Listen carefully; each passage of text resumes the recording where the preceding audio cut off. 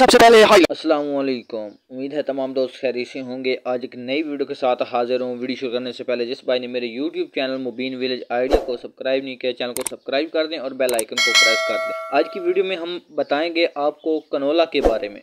Welcome to my YouTube channel Mubeen village idea उम्मीद है तमाम दोस्त खैरियत से होंगे।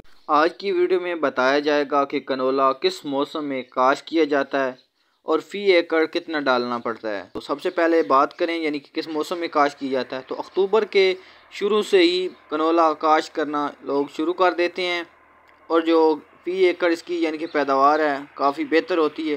पिछले साल की बात करें तो एक भाई ने लगाया था कनोला, तकरीबन एक एकड़। तो उसकी जो पैदावार है, तकरीबन बारह से तेरह मन हुई थी। उस वक्त जो रेट था, वो था जी आठ हज़ार रुपये। अब जो रेट है, तकरीबन छः हज़ार पाँच सौ से लेकर सात हज़ार। रेट जो है काफ़ी डाउन हो चुका है और काफ़ी लोगों ने यानी कि स्टोर करके रखा हुआ था तो उनको काफ़ी लॉस हुआ। अच्छा दूसरे नंबर पर बात करते हैं। तो फ़ी एकड़ जो कनोला आपने डालना है, वो डालना है दो किलो। आधे एकड़ में आपने एक किलो डालना है, जो पैकेट हैं, वो दो किलो का होता है, ठीक है? तो ये तरीकाकार अगर आप कम डालेंगे, इससे जो औसत है, वो भी कम रहेगी। ठीक है, ये तकरीबन तीन मंथ साढ़े तीन मंथ सवा तीन मंथ की एक फ़सल होती है। अगर कोई बंदा कपास लगाना चाहे तो बाद में कपास लगा सकता है और एक अच्छा मुनाफा हासिल कर सकता है। कनोला वही लोग काश करते हैं जिन्होंने बाद में कपास लगानी हो, क्योंकि अगर कपास आप देर से लगाते हैं तो उसकी जो औसत है वो काफ़ी कम रहती है। इसी तरीके से हमने लगाई थी गन्नम के बाद कपास, उसकी जो औसत है इतनी अच्छी नहीं, तकरीबन तीन, साढ़े तीन माह निकली है। तो इसी तरह पिछले साल भाई ने लगाया था, यानी कि कनोला, मैंने पहले बताया कि बारह से तेरह मन हुआ है, उसके बाद नौला की कटाई के बाद कपास लगाई है। बता रहा था, यानी कि मैं तीन लाख की कपास बेच चुका हूँ।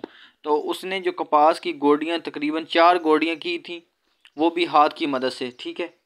आम ज़बान में बोला जाता है रंबा, उसकी मदद से उन्होंने गोडियाँ की थी, चार की थी और काफ़ी खर्चा किया था।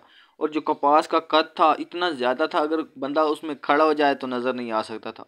तो ये तरीक़ाकार है। अगर आप गंदम लगाना चाहते हैं तो लगा लें, वो भी बेहतर तरीका, उससे भी काफ़ी ज़्यादा पैदावार हासिल की जा सकती है। गन्नम का जो रेट है वो भी काफ़ी बेहतर है। अगर आपने कपास बाद में लगानी है तो सबसे जो बेहतर तरीका है कनोला काश किया जाए। कनोला काश करने के बाद आप दोबारा कपास लगा सकते हैं और एक अच्छी पैदावार हासिल कर सकते हैं। ये थी आज की ताज़ा तरीन अपडेट उम्मीद है आपको ये वीडियो अच्छी लगी होगी। अगर वीडियो अच्छी लगी है तो हमारे YouTube channel Mubeen village idea को सब्सक्राइब कर दें और बेल आइकन को प्रेस कर दें। मिलते हैं दोबारा एक नई वीडियो के साथ। तब तक अपना ख्याल रखिएगा। अल्लाह हाफिज़।